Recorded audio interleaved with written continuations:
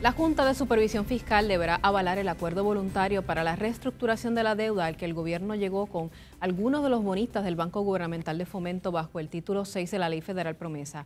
Pero, ¿en qué consiste este llamado acuerdo? Sobre esto conversamos con la economista Marta Quiñones. Buenas noches y gracias por estar con nosotros. Muy buenas noches. ¿Es un acuerdo? ¿Es o no es un acuerdo esto que se anunció durante el día de hoy? Es la pregunta que la gente tiene que hacerse. Sí, por eso yo creo que es una propuesta y es una propuesta que trata de hacer como que alguna un entuerto turbio ahí de mezclar las deudas que hay en el Banco Gubernamental de Fomento, digo, de las legales y las ilegales, o sea, sin, sin análisis ninguno, y entonces tratar de negociar para bajar la cantidad que va a pagar unas personas, pero entonces tiene muchas ramificaciones, porque tiene tres tipos de formas en que puedes tener la deuda, tiene dos grupos que van a varar esa deuda. Entonces, es como algo bien extraño, pero entonces, al final como la Junta de Control Fiscal la tiene que aprobar y la jueza en Estados Unidos lo tiene que aprobar. Antes de llegar a la Junta y posteriormente a la jueza que ha sido nombrada, todavía se necesita un 66.5% de que los acreedores lo aprueben antes de llegar a la Junta, ¿no?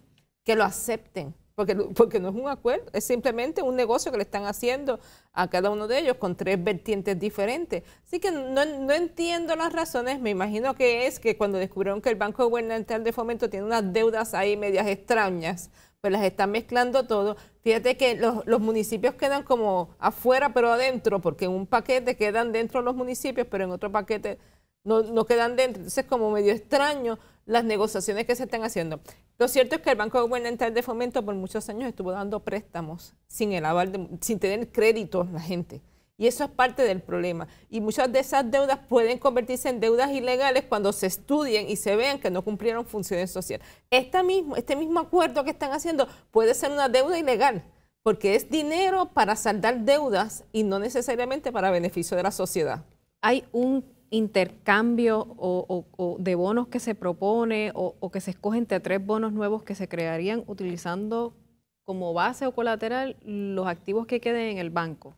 Esa es parte de la propuesta. Los activos, las deudas y un dinero que existe que, lo, que las agencias van a meter en el banco. O sea, que van a hipotecar. Es decir, si por ejemplo el municipio X se le prestó dinero, ese dinero que se supone que el municipio vaya pagando, a su vez se le va a pagar a esos acreedores. Eso es parte del acuerdo. Es algo extraño por el estilo. No, no si el municipio no paga. Ese es el problema, o sea, que, que, es algo extraño, pero no se sabe exactamente qué es lo que tú estás ignorando y qué es lo que tú estás este, reduciendo. Entonces, hay tres formas también. Uno que tú vas a pagar un 7.25 de intereses si deja que te recorten el 55% de la deuda. Otro que vas a pagar un poquito menos si deja que te recorten menos. Y si quieres el 75% de tu deuda, pues tienes que pagar menos intereses. Pero entonces, ¿cómo, ¿cómo el inversionista va a escoger? cuál es la mejor y si de verdad le van a pagar, porque el problema es que a lo mejor escoge la que te deja el 75%, pero ¿y si no te pagan? O coge reducir el 55%, pero ¿y si tampoco te pagan? Este tipo de transacciones requiere que al acreedor se le divulgue una serie de, digamos, estados financieros, la situación dentro del banco para que pueda tomar una, una determinación informada dentro de la negociación.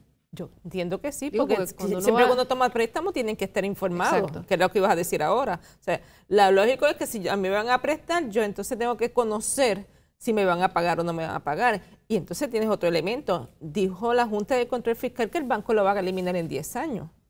Entonces, al final te dicen en la noticia que también los empleados, con los empleados de, de, de esa institución también van a hacer algún tipo de arreglo. O se jubilan o los reubican en, otros lados. Entonces es parte de, si van a liquidar el banco y tú vas a hacer unas transacciones con un banco que van a liquidar, ¿cuál es la regla de juego que aplica aquí? ¿Quién finalmente te va a pagar esa deuda?